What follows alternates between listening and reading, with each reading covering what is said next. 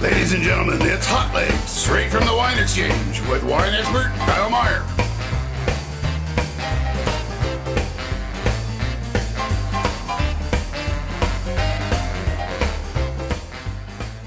All right, here's a real shocker. The next wine I'm really tickled pink about because uh, Cabernet really doesn't come up a lot in conversations with Australian wine. People think, you know, Shiraz and, and some of the famous fortified wines, etc. But fact of the matter is, this wine blew me away today, and it's one of the best Cabernets I've tasted uh, from Australia. That's I'm not uh, pulling your leg. Uh, in the last, you know, five, ten years. I mean, really spectacular wine from the Barossa. Uh, Tell me just a little bit about the boundaries here, because it's such an amazing wine. Um, it's called Boundaries because it comes from two vineyards on the boundary of our of our property, um, and where the boundaries are, they're sort of fur- the furthest area, the furthest boundaries away from the hills, so the sand's a lot deeper, and the Cabernet is very very vigorous.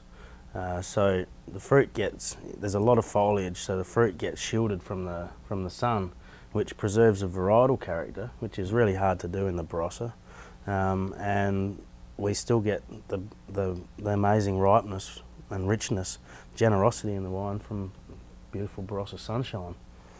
It's great you say that because uh, the, the problem I've had with a lot of Barossa Cabernet is that it tastes more like Barossa than Cabernet, Yeah. and yours tastes like Cabernet, which is Well, you know, you can't treat it like Shiraz. Cabernet, Cabernet. As soon as Cabernet sort of gets gets too warm or gets sunlight on it, um, you lose all those the, the, those beautiful crushed leaf and and varietal character that's in the wine. So this this we managed to preserve it, and I, I, I love it.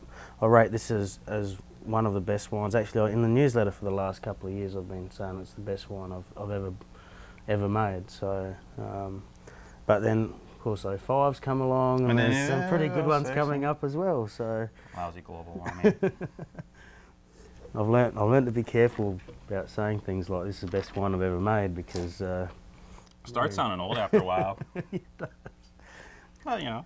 Well, you know, the, the, our vineyard used to be um, machine harvested and, and um, machine pruned, Really? um, like about 15 years ago when the vine pull was going on in the Barossa, and we've been working, you know, cutting our vines back, and I, I think from about um, 02, like we, we basically from 96 on we started go, we went back to hand pruning and hand picking, um, and around about 02, we st- I, think the vines started to hit about the, the cropping levels and getting the balance that I wanted and the consistency from one year to the next. But I think with Rusden, it's been a continual improvement from one vintage to the next. Yeah. Very much so because, of, well, A, I learnt um, at Rockford how to make wine and I didn't go to uni, so it was a, a, a, a dramatic learning curve in the winery for me. Um, and also the vines were getting pruned back and, and getting better balanced every year. So it's been a, it's been a great great build up to, to sort of the, these vintages, the 04 and 05. For those not familiar with Rockford, uh, it's, it's one of the great Barossa wine institute. Well, not just Barossa, Australia. Uh, it's, it's one of the greatest wineries in Australia, and the the um, parade of fantastic winemakers that have made their way through the doors making Robert O'Callaghan's wine is is, is renowned. Basically, Mo- yeah, most of us never went to university. We, we learnt at Rockford, or at the School of Rock, we call it. yeah, which is cold beer, hard work. which is a bit too cool for us Barossa boys, but anyway, sounds good. Anyway, All right, well here's here's a wacky one. Uh, Zinfandel. Zinfandel. So this is 100% Zin. 100% Zin, oldest Zinfandel vines in Australia.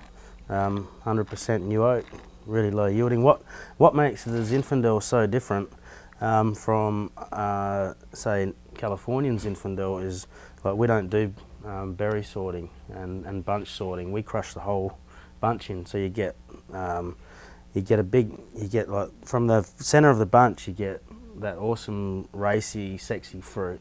Um, you get that bracing acidity from the little green berries sort of on the rabbit ears Yeah. and then you get about a third of the bunch at the bottom, which raisins up naturally on the vine, um, which gives it that big black black underbelly. So, yeah, call it the, the red belly black snake.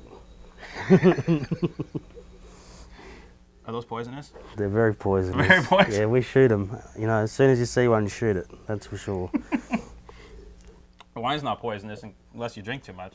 The uh, it's one of the best Zin. Well, it's the best Zin made in Australia, and this wine bumps heads with the greatest Zins made in California for sure. We've done numerous blind tastings and done them everywhere. In fact, the matter is the the Chook Shed uh, comes out on top just about every time. I think.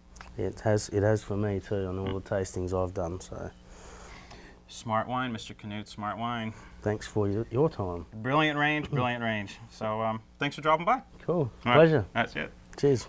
Bye.